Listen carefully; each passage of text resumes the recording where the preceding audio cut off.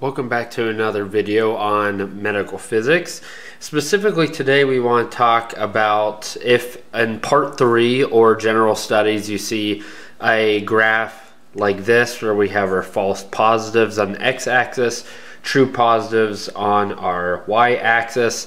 Uh, we can also look at our true negatives here and our true positives if you get a graph that looks like this. This would be considered our deci decision threshold.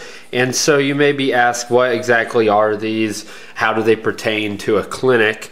And so uh, specifically, these are just ROC curves, as they call them, or receiver operating characteristic curves. And it assesses the usefulness of a certain test to detect something. So, for example, uh, for medical physics, a big thing this would be used for is cancer. So, we'd be finding the usefulness of a certain test for detecting the cancer. So, uh, the first question maybe that would be asked. So, there are a lot of criteria for these certain things, and uh, the first would be sensitivity. So if they ask you to find the sensitivity, uh, or maybe how would you find a, a, false positive, or specificity, that's another one they often look at in these type of tests. Uh, we also have just simply our accuracy. And so we can go through these.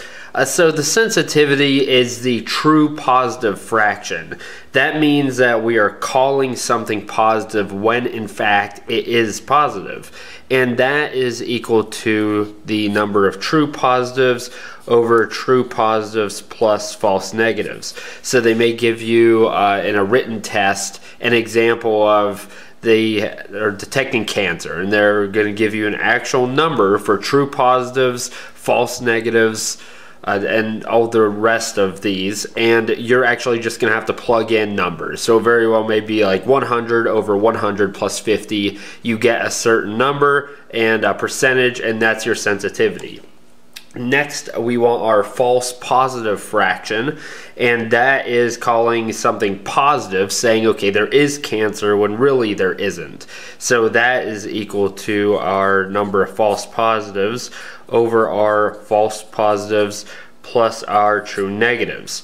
Next, we have our specificity. That is calling something normal when it actually is. Uh, that is our true negative over our true negative plus false positive. It's nice that, as you can see, a correlation. It's the first term on top, and then it's the same term on the bottom plus the opposite thus far for all of these, which it makes it a lot easier to, to memorize these if it's uh, needed.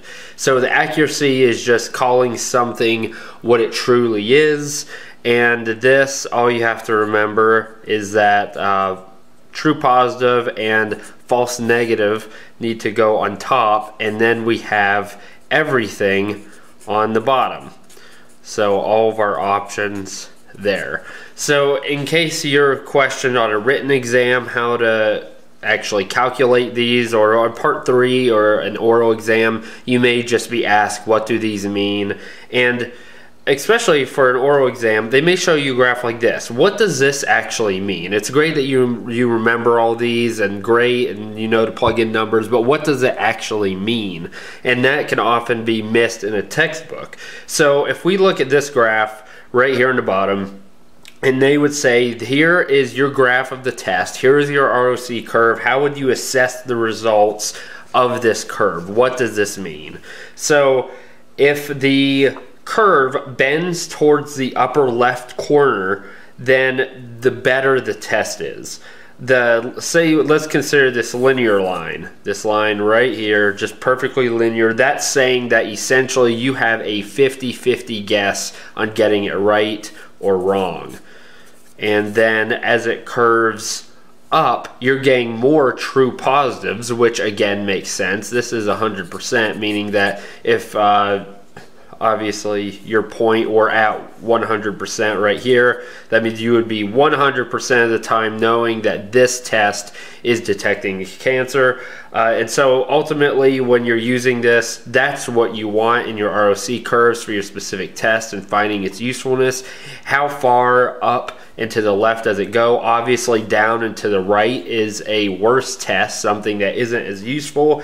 And you have to base the decisions of these tests on the balances between false positives and true positives. So that is a brief introduction into ROC curves. I hope this helps. If you have any questions, please comment below and look forward to more videos on medical physics or part three preparation.